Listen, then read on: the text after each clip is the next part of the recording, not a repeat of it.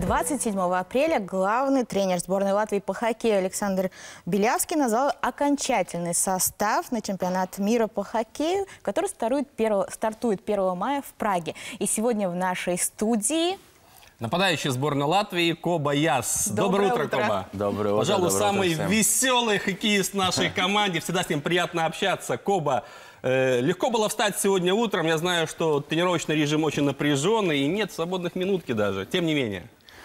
Нет, конечно, спокойненько проснулись вчера, как договаривались, так что был такой Никаких рад проблем. прийти с вами. Почему Марис не пришел? У него температура, насколько я понимаю. Да, да, да, да. Очень хотел до последнего, как бы, надеялись, что Мария сможет прийти, но в последний момент все-таки ну, завтра собирает чемодан и летит вместе с вами в обязательно, Прагу. обязательно, мы без него Все никуда. без изменений. Кстати, последняя информация. Мне Коба только что сообщил, что Рональд Кеннинш вышел на связь.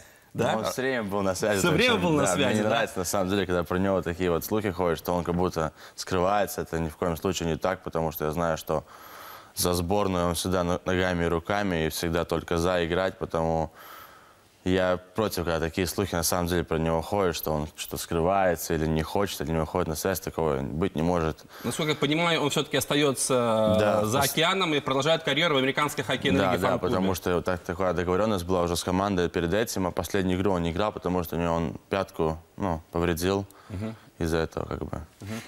У меня вопрос. Вчера э, тренер объявил окончательный состав сборной и наверняка поставил перед этой сборной задачу максимум, задачу минимум.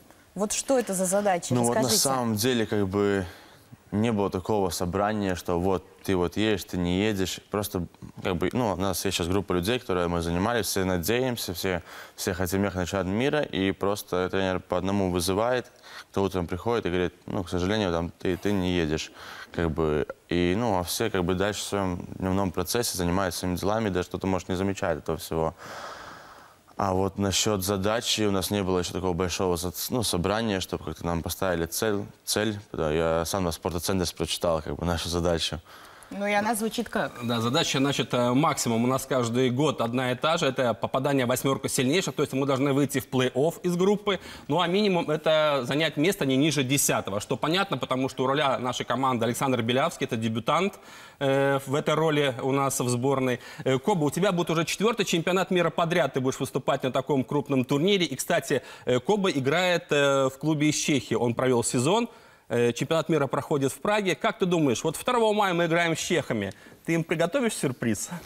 Ну, я просто такой человек, я не люблю никогда заранее заикаться, но как бы хочу сказать, что вся команда будет готова на 100%, и мы будем готовы сделать какую-нибудь сенсацию в Чехии и сделать им сюрприз как бы у них дома. Я еще хочу добавить, что Коба Яс является не, сам, э, не только самым веселым у нас человеком в сборной, но и самым бесстрашным. Вспоминаю события трехлетней давности, когда э, после одного из силовых приемов Кобы Яса не поздоровилась игроку Оттавы Карлсону, шведу известному. И я думаю, что этот э, нападающий долго будет вспоминать нашего парня. В этом году у нас начало очень э, серьезное и непростое. Сборная Канады 1 мая, потом Чехия 2, 4 числа мы играем со шведами. Как ты считаешь, вот такое начало чемпионата для сборной Латвии это плюс или минус? Все-таки мы играем с фаворитами уже с самого начала. Ну, сложно сказать, на самом деле, это хорошо или плохо, что сильный противник в начале. Ну, как, мне кажется, об этом не надо думать. Главное, если ты профессиональный спортсмен, должен выходить именно на каждую игру и концентрироваться именно на того противника, который тебе на сегодняшний день как бы с кем должен играть. А так заранее рассуждать, надо было того или того. Единственное, что, например, в прошлом году нам всем не понравилось, что мы были, мы были единственная команда, у которой был перерыв два раза подряд, 15 часов только между играми. После белорусов у нас маленький отдых, сразу Швейцария как бы. Ну, вот такие вот нюансы вот маленькие. Вот если Ну, на таких- сей раз все будет в порядке, отдыха будет достаточно. ну, надеемся, надеемся. Но тому как бы я так не изучал на самом деле вот все вот эти моменты, но... А нет этого ощущения, вот когда у тебя экзамен, то лучше сначала сделать всю самую сложную работу, ну, то есть встретиться с такими серьезными соперниками. То есть пускай там, фух, Как бы прошло. математика, химия там, Да, да. да, да, да, да. Ну, может быть, так и лучше было бы, да. А в конце уже... Ну, не знаю, не знаю, не хочу это так. Сложно сказать. Коба, ты являешься игроком силового плана, и не случайно Тед Нолан, предыдущий наставник сборной Латвии, тебя регулярно привлекал в нашу команду. Э, Первого числа мы играем с канадцами, это родоначальники хоккея, и против тебя будет играть э, Сидни Кросби. Ты знаешь такого хоккеиста? Конечно, знаю. Даже я знаю такого хоккеиста. На Олимпиаде, кстати, ну, у нас была как бы задача перед канадцами. Тренер сказал, как бы, ребята, давайте сейчас не надо начинать, как всегда, мы начинаем сразу в силовую игру с ними не вступать, потому что это Канада, это машина. Если мы их разозлим, то нам только хуже будет. Он говорит, выйдите кто-нибудь на раскатке, спросите автограф, сделайте им такой сюрприз, чтобы они вообще, ну, как бы в шоке все были. Потому что они не знают, что такое Латвия, я вам гарантирую. Подойдите, спросите автограф, подойдите клюшку, спросите. Они будут в шоке, они не будут готовы на игру. Ну и как бы, ну и мы там шутку спрашивали у всех на раскатке перед игрой. И я у Кросби спросил клюшку. Ну и мы проиграли, я уже, ну, как бы все расстроены, все, пошли в раздевалку. И мне как бы наш, ну, как бы став э, в команде Да. Кто у Кросби клюшку спрашивал, кто, кто кого тебе принес. Серьезно, да? Да, да, и он сам пришел до раздевалки, принес, А подписал. где эта Хра- ключка хранится? да? Клюшка есть, да, да, да, под Дома кроватью. стоит? Дома под кроватью. Какая информация. Так на этот раз тактику будете такую же? Ну, не, ну это как бы просто он так... А Шутка, почему? да, да, да, да. Хорошо, мне понравилось. По-моему, очень эффективно. Между прочим, Кросби всего лишь второй раз будет выступать на чемпионате мира. Первый раз это случилось в 2006 году, когда Рига принимала мировое первенство. Но если серьезно, Коба Яс вообще из хоккейной семьи, большой хоккейной династии. Э, Марис Яс, двоюродный брат, выступает в сборной Латвии. Марок Яс сыграл долгое время в нашей команде и в ЦСКА. И вообще, Коба, ты был обречен стать хоккеистом, знаешь, уже в пятилетнем возрасте встал на коньки.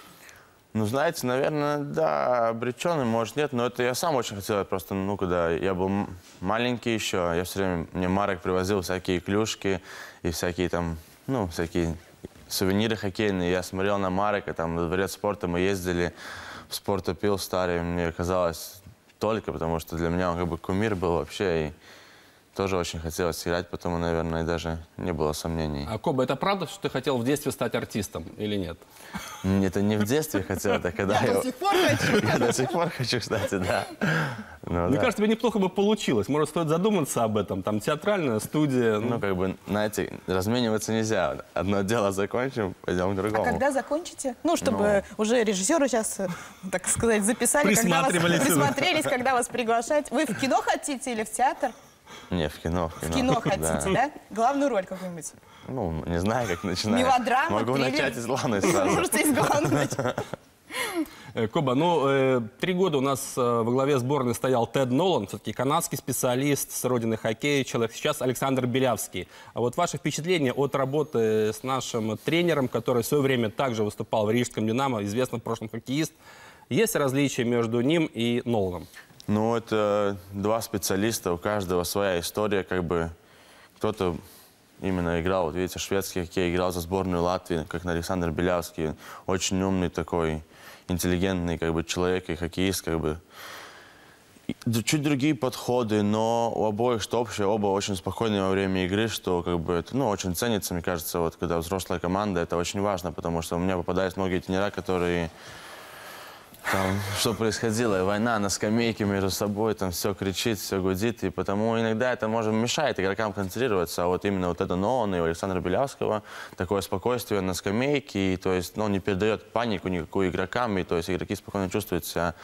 Ну, и, как бы, Тед Нолан, как бы, ну, вырос, ну, за океаном, как бы, там всю жизнь работал, у него, может, чуть другой подход ментали- и менталитет, у Александра другой, но, как бы, оба специалисты высокого класса. Насколько я знаю, в Прагу собираются отправиться около пяти тысяч латвийских болельщиков. Для тебя лично поддержка фанатов, она играет большую роль? Ну, Или я- тебе не важно, кто там на трибунах, что Ну, происходит? Это очень важно как бы для нас. То есть весь мир знает болельщиков Латвии, мы всегда гордимся. То есть мы когда ну, знаем наших болельщиков, мы всегда то есть, громким словом про них говорим. И хочу сказать даже словом всей команды, что мы очень благодарны. И спасибо, что у нас есть такие болельщики, на самом деле верные. Потому что даже как, как бы игра не складывалась, мы всегда чувствуем, что они с нами и, и нас поддерживают. И мы очень благодарны им. Вообще сборная Латвии уже будет 19 год подряд играть в высшем дивизионе чемпионата мира. И в этом году вы продолжаете высоко нести знамя латвийского хоккея. Хочется пожелать вам, чтобы вы обязательно сыграли успешно на групповой стадии турнира, не испугались никаких шведов, чехов, канадцев, обыграли немцев, австрийцев, французов и вернулись с высоко поднятой головой с Праги. Но ведь Божьей помимо помощью. хоккея, там еще будет день рождения 4 мая. Первого, первого. 1 мая? первого. 1 мая? Так, все, обязательно, ну, клюшка у вас уже есть, попросите какой-нибудь автограф, там, ну, ну, как-то договоритесь, да, чтобы мы еще... На майке, на майке. Да, нужно же как-то фильм все-таки снять, да? Надо, надо, Вот. Володя сценарий напишет. И, ну, я думаю, что Коба, лучшим подарком для Коба будет отличная игра и его, и команды всей, первого Победа, числа. конечно, да.